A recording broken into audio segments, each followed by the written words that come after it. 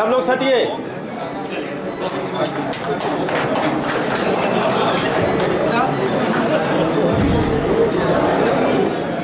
परंपरा है कि राष्ट्रीय स्तर पर, प्रदेश स्तर पर और जिला स्तर पर और मंडल स्तर पर। ये जिला कार्य समिति की बैठक होती है और उसी संदर्भ में आज मुजफ्फरपुर ज़िले के ज़िले कार्य समिति की बैठक हो रही है।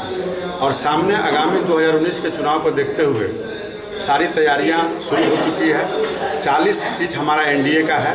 इस चालीसों सीट पर एनडीए का गठबंधन चुनाव लड़ेगा। कैसे चुनाव जीते, कैसे बूथ को जीते और कैसे चुनाव जीते, सबसे मज़बूत हमारा बूथ इस मिशन को लेकर के हम लोग आज जा रहे हैं। इस कार्य समिति की बैठक के बाद लोकसभा की बैठक होगी, मोर्चों के अध्यक्षों के साथ बैठक होगी। यानी तरह तरह के अलग अलग सेक्टर में जा करके कैसे वोट बैंक हमारा बढ़े, कैसे हम चुनाव अधिक से अधिक सीट जीते, कैसे जहाँ हम चुनाव जीते हैं, उस जगह पर कैसे हमारा अधिक मत पड़े, इसकी तैयारी में हम लोग आज मिशन दो हज़ार उन्नीस के लिए हम लोग लग चुके हैं।